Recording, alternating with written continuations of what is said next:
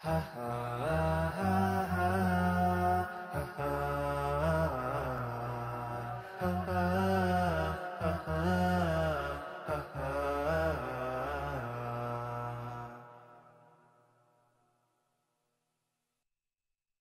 عليكم ورحمة الله وبركاته الحمد لله حمدا كثيرا طيبا مباركا فيه كما يحب ربنا ويرضاه Wassalatu wassalamu ala asyrafil anbiya'i wal mursalin nabiyina Muhammadin wa ala alihi wa ashabihi ajma'in. Para pemirsa Salam TV rahimani Allah taala wa iyyakum jami'an.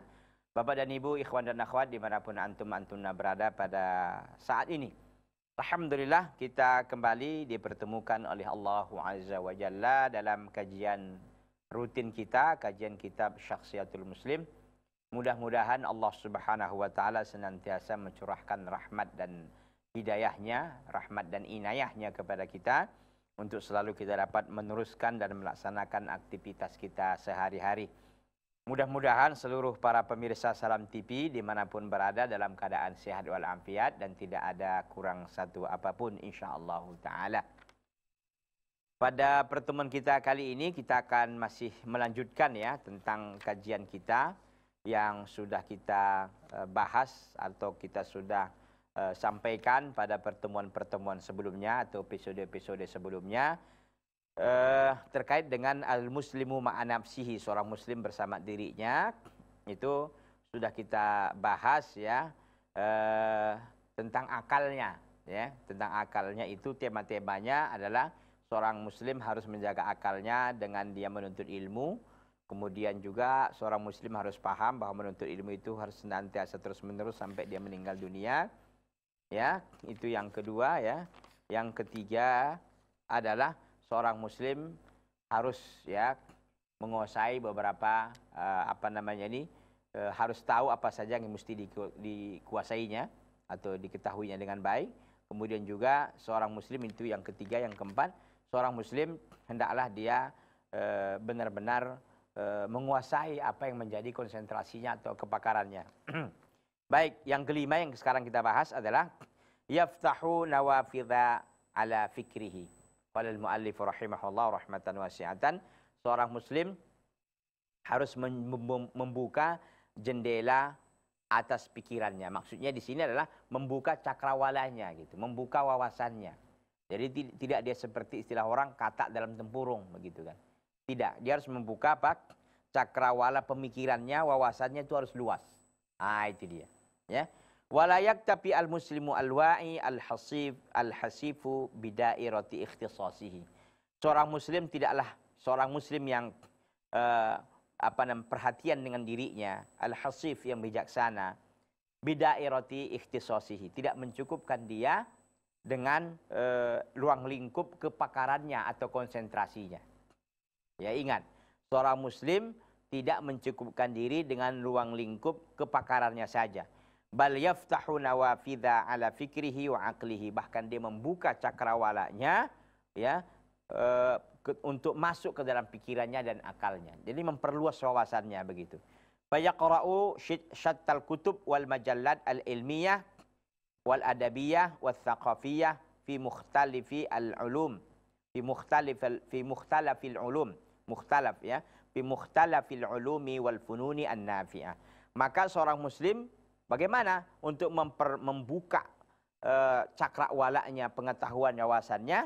Maka hendaklah dia membaca syatal kutub, beberapa kitab-kitab wal majallat dan majalah al-ilmiyah yang majalah ilmu, wal adabiyah dan majalah adab, wasaqafiyah dan wawasan, fi mukhtalafi al-ulum, di berbagai ilmu, wal funun dan juga funun ini artinya adalah uh, seni ya an-nafi'ah.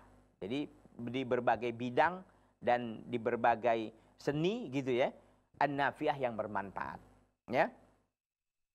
Wa bi khasatin al-qaribah minha ila dairati ikhtisasihi.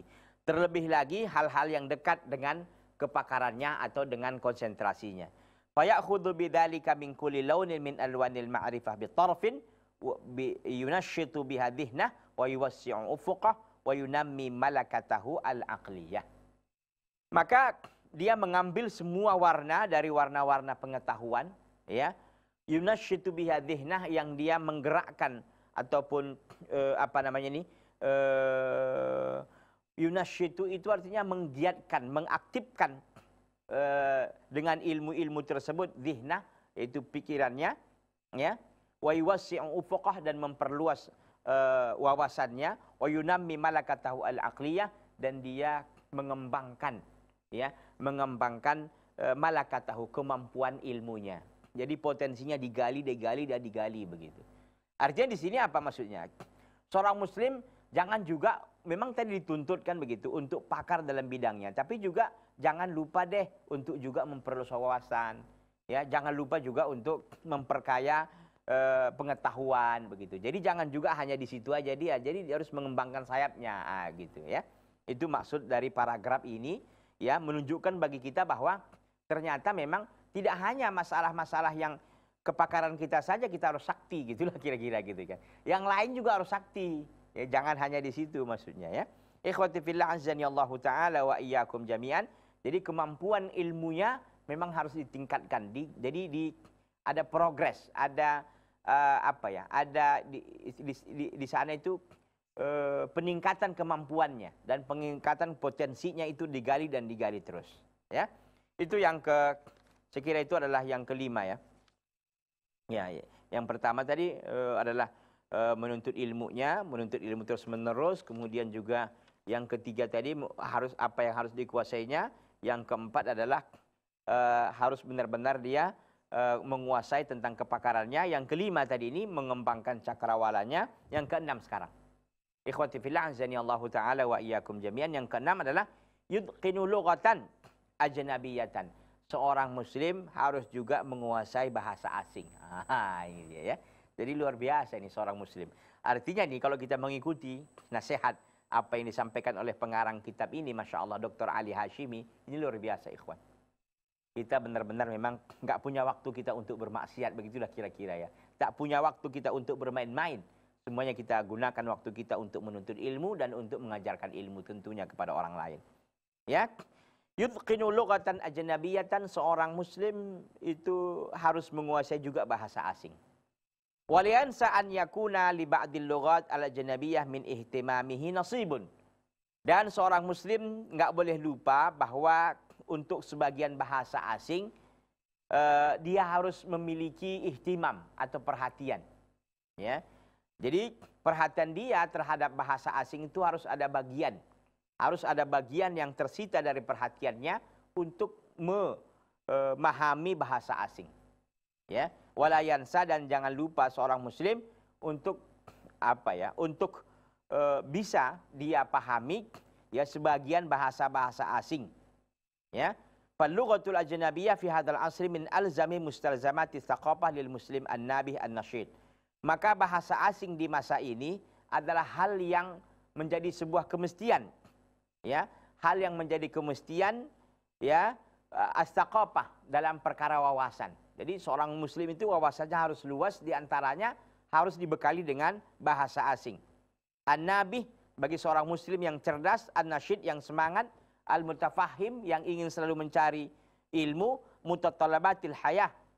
Ya, yang dia paham dan mengerti ya tentang tuntutan hidup, kehidupan Islamiyah al-mu'asirah, Islam modern saat ini. Artinya di, di masa modern di, di masa modern kekinian ini, di, di masa kekinian ini Islam ya kehidupan Islam dalam dunia Islam itu dibutuhkan orang-orang yang cerdas dengan bahasa asing. Karena memang Islam itu kan sedikit ya. Dia kalau di dunia ini minoritas gitu. Ya walaupun kita di negeri ini alhamdulillah mayoritas, tapi kalau kita sudah bicara tentang internasional, tentang dunia, maka Islam itu sedikit. Ya, paling di, ber, diperkirakan dia adalah 1,8 miliar ataupun sampai 2 miliar angkanya gitu. Sementara manusia ini ada hampir 8 miliar, 7,5 miliar lebih gitu. Bayangkan kan begitu.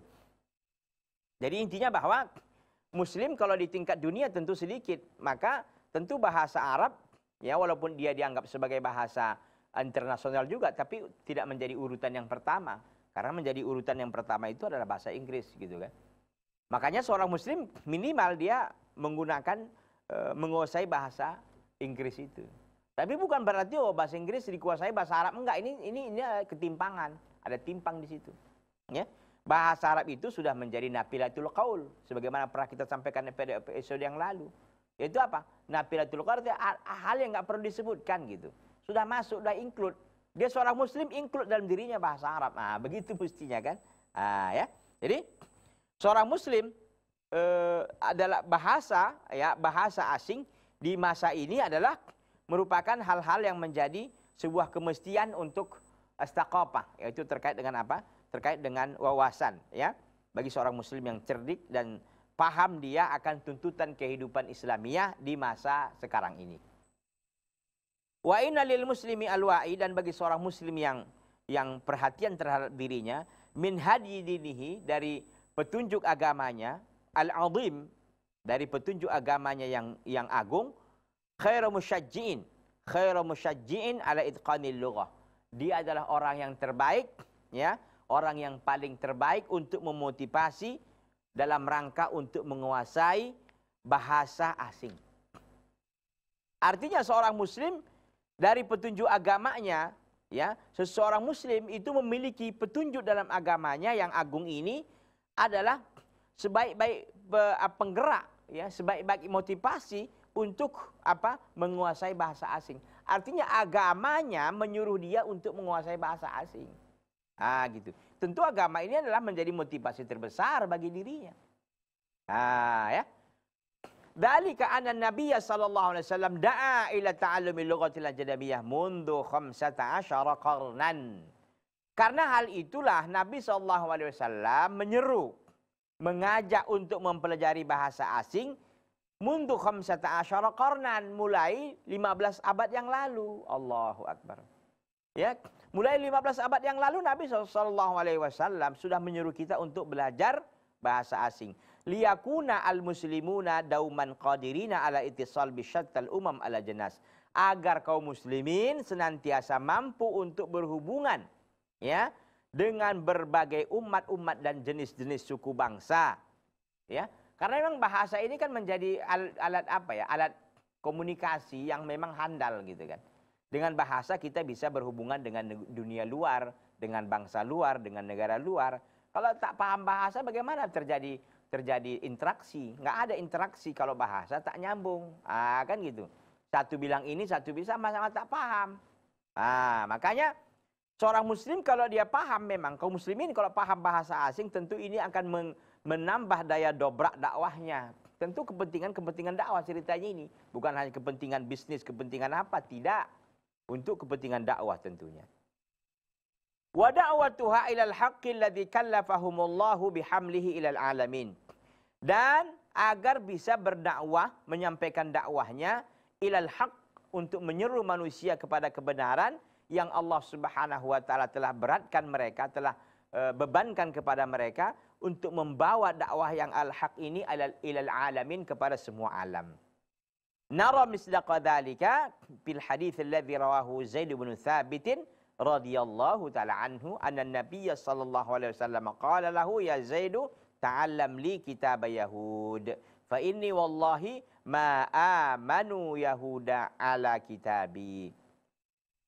Hal ini bisa kita lihat ya pembenarannya dari hadis yang diriwayatkan oleh Zaid bin Thabit. Ada hadis yang diriwayatkan oleh Zaid bin Thabit radhiyallahu taala anhu semoga Allah meridainya. Apa? Anna Nabi sallallahu alaihi wasallam qala lahu bahwa Nabi sallallahu alaihi wasallam berkata kepadanya, "Ikhwati fillah azani Allah taala wa iyyakum jami'an." Kita rehat sejenak, kita jeda sejenak, kita akan lanjutkan hadisnya ini setelah yang satu ini jangan ke mana-mana tetap di uh, keluarga muslim ya, tetap di Salam TV sahabat keluarga muslim.